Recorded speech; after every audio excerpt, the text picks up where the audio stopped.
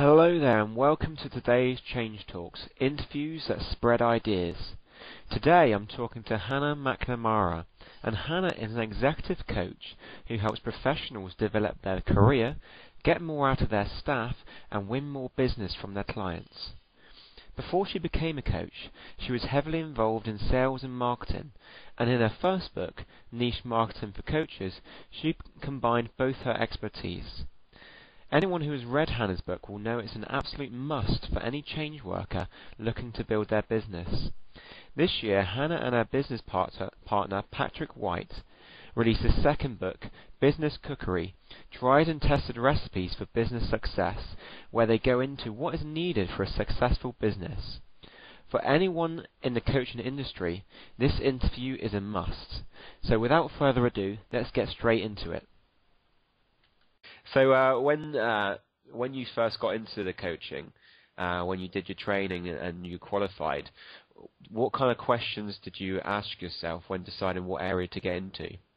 Do you know, when I started off thinking about coaching, I was actually fairly clear about the direction I wanted to take it in. And to a certain extent, doing the training um, confused me a little bit because I could see all of the different options that were available to me as a coach, and I could see how this great new tool that I just learned could be used in so many different situations. Mm. So I had to kind of go back to, to basics. And one thing I would say is that the, the niche area of coaching that I've worked in has actually changed and evolved over the, the years that I've been doing it, because I started as a coach back in 2004.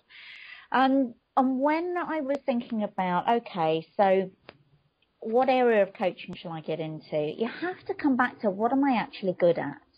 Right. And where can I actually add value? Because if you want to do this professionally and, and really do it seriously, of course it's a lot of fun, but you have to think seriously about this.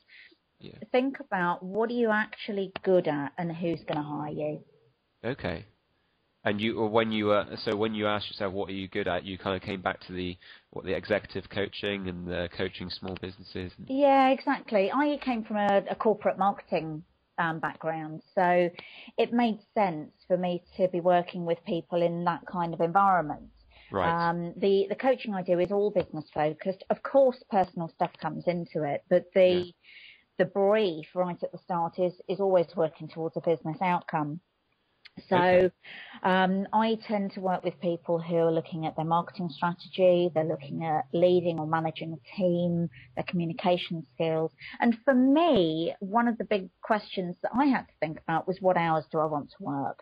Right. And I just wanted to be doing essentially a nine to five. So mm. I had to look for clients who were able to do coaching within those hours rather than doing evenings or weekends. Because while that's great for a lot of people, it wasn't right for me. Okay, good. So, and this kind of moves on to the second question. Um, so that was an importance for you when you started. Um, and as you go through your coaching uh, career as such, how frequently uh, do you review your business to check that it's still going the way you want it to? Um, and what kind of things do you look for when you do review?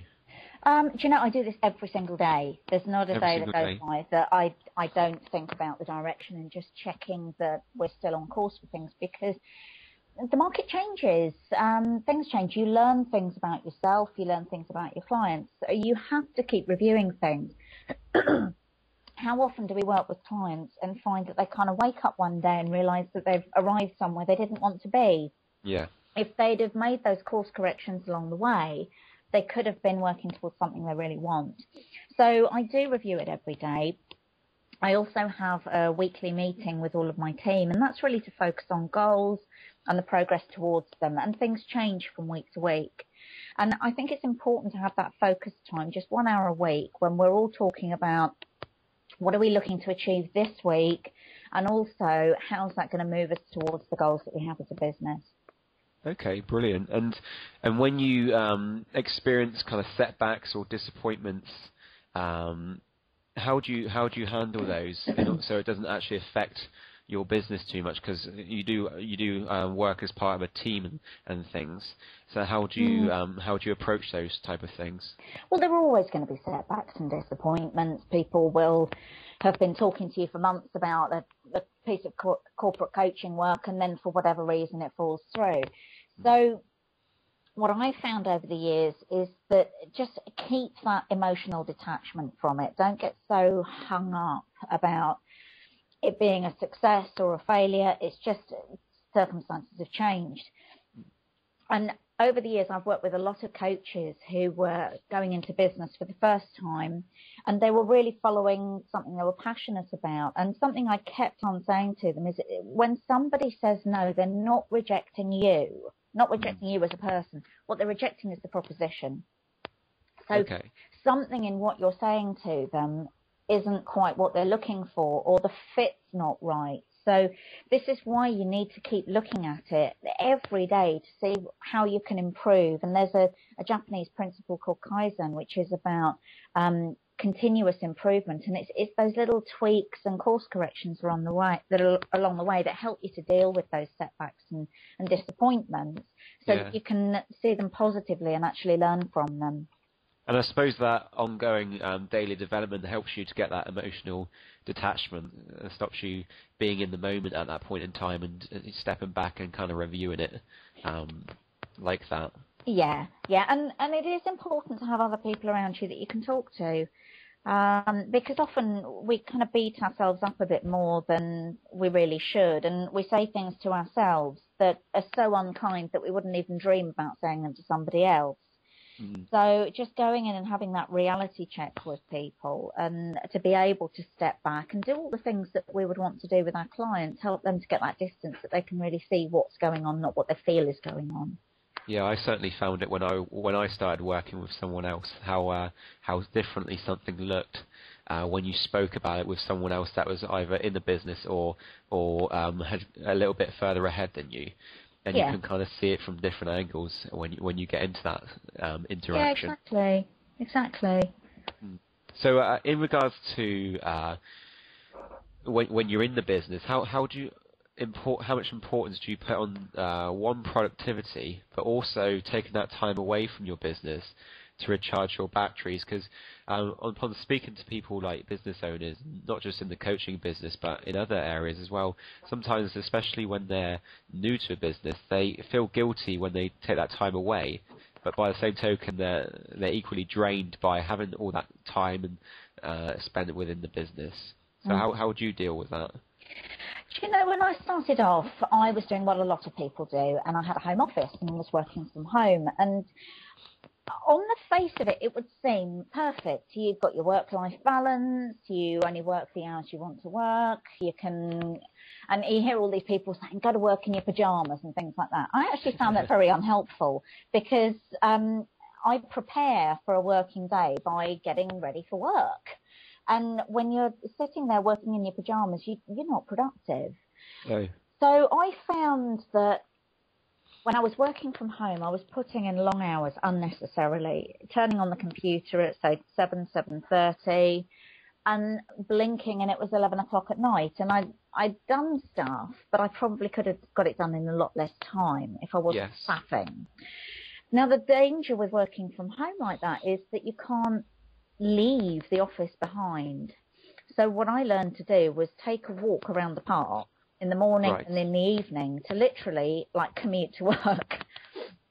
Um, that, was, that was kind of your checking in and checking out as such. Exactly. Yeah. yeah. And being able to shut the door on it and not be thinking, oh, I need to check my website, I need to check if an email's come in.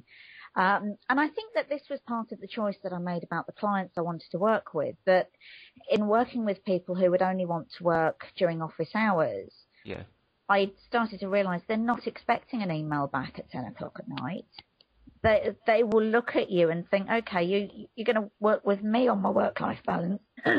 What's yours looking like? Um, so I took the decision a few years ago to, with my business partner, get an office, and we each commute into London. And it improved the work-life balance no end because I had a um, had a definite start and end to the day. I start at 8.30 and I leave on the dot at 4.45 to get my train home. Right. And everybody knows that outside of those hours, that's my time. Um, so clients don't get in touch with me outside of those hours. And, and you know, actually having that commute gives me time to read books, to listen to audios, to think, to plan, And so by the time I get home, I'm actually refreshed and ready to be at home. And you find yourself more productive when you put out those um, those markers for yourself, did you? Definitely. Yeah. Yeah, Okay. definitely. Because you know you've only got a certain amount of hours to get the work done, and if you've got in, indefinite amounts of time, the work spreads out to fill it. Okay, brilliant. So, um, as a, as a coach, when you're working with clients, what what are the kind of the most common uh, thing areas that come up when when you are working with them, and what are your aims when when you do work with those clients? Well, I coach many people around business, so the, the sort of brief that I'm working to is to improve their leadership, their management skills, their communications, their people skills. Um, and really, what we're focusing on is getting results. It's not about them buying a coaching session, it's about working them towards the outcome that they want to achieve. I also coach business owners on their marketing strategy, and you know, the same stuff comes up in, in those sessions because often people kind of know what they need to do. They need to sort of check in with you and build their confidence that they're actually going in the right direction. I would say that the kind of coaching that is my style is a blend of coaching and mentoring. And Right. the reason for that is that my clients come to me because of my experience. Um, I've been in marketing since, oh, sales and marketing since the late 80s. Um, and so I would actually be doing my clients a disservice if I knew the answer to something and they were asking me for it and I didn't at least share some ideas with them. Yes. Um, yeah. So it's it's very much focused on outcomes, um, and using coaching is just one of the tools that's available to me to help the client get what they want. Okay, so it's sort of very, very um, multidisciplinary as such. It's you know you don't just focus on the coaching. If mentoring, if the need for mentoring comes up, you you uh, give that as well. Yeah, and I find that because I'm working with very senior people in business, they haven't got the time to mess about. Um, and and actually, if I've been briefed to come in and work with them on, say, their management skills, yes, we might identify that other things need working on as well, but the company's paying the bill. and that's the thing to remember if you're going to work with businesses. Your client is the company, not the person who you're coaching. And so you've Right, got okay. to work to the brief you're given. Brilliant.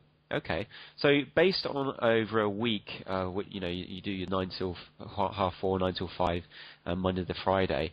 How much, uh, if we use the Michael Gerber approach, how much do you um, spend on your business, and how much do you spend in your business? And if you were compare that now to when you first started out at coaching, has that ratio changed at all? An interesting question. Um, because the two are very interlinked. Um, because of my marketing background, I see working on the business as doing all the marketing. Mm. And if I was in a, a marketing job, that would be classed as working in the business. Okay. So it kind of it blends.